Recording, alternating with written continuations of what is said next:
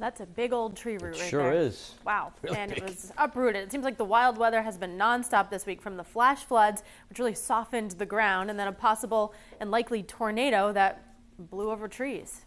Seems like it's been nonstop all summer. Yeah. So the storm yesterday bringing down th- these massive trees down and uh, power lines as well. Erica Ritchie's been in Glocester now for a couple of hours. You just took us on a tour of one area that was really affected yesterday. Yeah, and now we're just up the road, Pat. This is where the DPW has begun the daytime cleanup. The chainsaws have been buzzing. You see them working right over here, the large pieces of equipment. They are doing everything they can today to clear the roadway as much as possible. That's their responsibility to make sure that drivers can get through. Uh, the stuff that is on the property of the homeowners, however, eh, that's their responsibility to clean up. But hey, listen, I talk about the daytime cleanup because really this has been going on since last night. I just spoke with a woman who lives nearby here. She said these roads were not even passable last night. Take a listen. It was a mess. It looks a lot better than it did yesterday because there was trees across the road and everything you couldn't get through. So it's it's amazing. I never saw anything like this.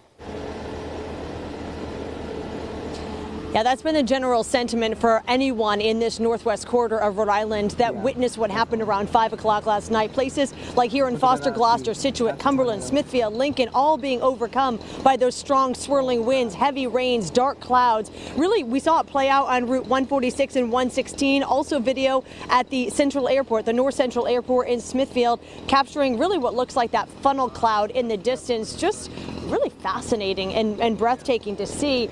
Unfortunately, not necessarily the case if you were affected by it here. And so, as we come back live, you can see the uh, the large piece of equipment here. They're attaching that chain to the tree. They're going to be working to remove it from the area so that they can begin to clear everything that's here. Now, let me go ahead and show you just to my left here. This is a property that abuts Bungee Road here on the Glocester North Smithfield line. You can see the size of the trees that have been taken down. One family we spoke with just next door said they contacted their insurance company and they're going to go ahead and send a tree company out as soon as they possibly can. Good news here, guys. The lights just came back on, so they are seeing some progress. And we have learned that the National Weather Service will be in the area starting in Attleboro and Plainville uh, at 9 o'clock this morning, making their way this way after that. That's the latest live in Glocester. Erica Ritchie, 12 News.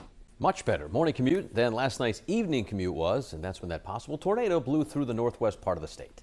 Yeah, so here in Lincoln behind us, you can see the press box at the high school stadium toppled over. In places like Foster, Glocester, Scituate, Cumberland, North Attleboro, there were trees and power lines that came down. Everywhere. Erica Ritchie live in Glocester right now, surveying some of the damage this morning. Erica. All right, guys, chippers and chainsaws. That's the melody of the morning here on Bungee Road in Glocester on the North Scituate line. Hey, but you know what? It is music to the ears of people who live here. Let me go ahead and show you. Uh, we've moved down the road since last I saw you here. You can see some of the residents showing their best to clear what they can with the tools that they have. And then look at the backyard if we can over in this neighbor's yard. You just see a line of trees just lying down.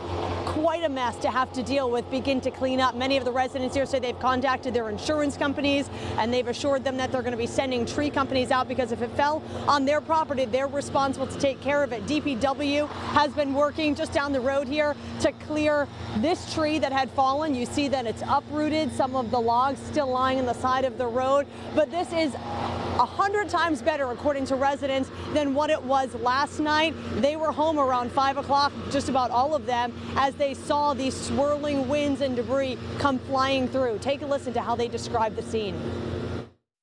We started to see the trees swirling around, and I said, "Let's get in the basement." And then you heard the whole train sound. It just cleared everything.